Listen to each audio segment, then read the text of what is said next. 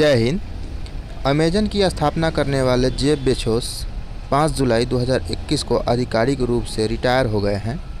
Company की कमान अब अमेजन वेब सर्विसेज़ के एग्जीक्यूटिव एंडी जैसी के हाथ होगी। उनका नाम अब अमेजन डॉट कॉम के प्रेसिडेंट एवं सीईओ के तौर पर अपडेट कर दिया गया है।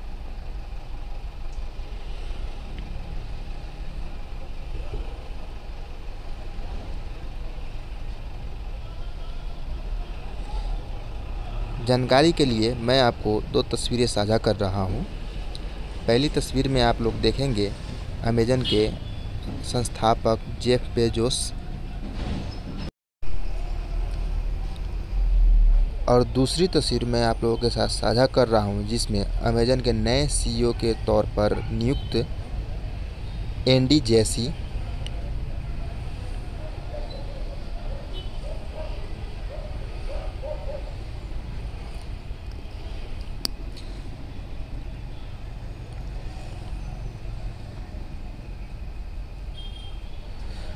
बेजोस कंपनी में कार्यकारी चेयरमैन बने रहेंगे। जेब बेजोस ने मई 2021 में रिटायर होने का घोषणा किया था। उन्होंने 5 जुलाई से एंडी जेसी को यह ज़िम्मेदारी देने की बात कही थी।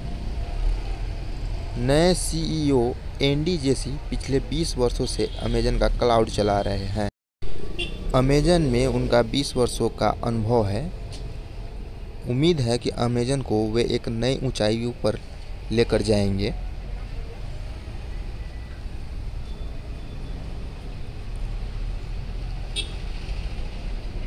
देखा जाए तो एनडी के पास अनुभव की कोई कमी नहीं है।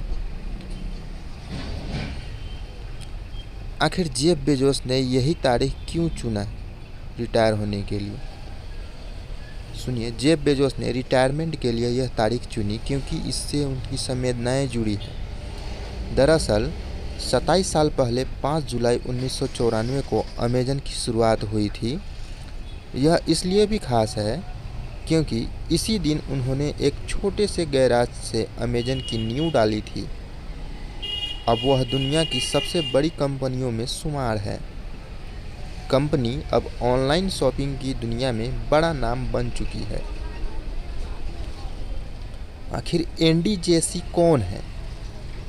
तो एनडी जेसी पिछले दशक में टेक्नोलॉजी की दुनिया में एक बहुत बड़ा नाम है।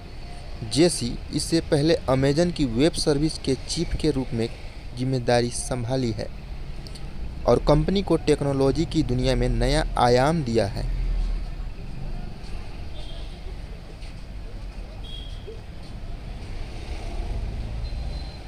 एनडीजेसी ने साल उन्नीस में हार्वर्ड बिज़नेस स्कूल से ग्रेजुएशन किया।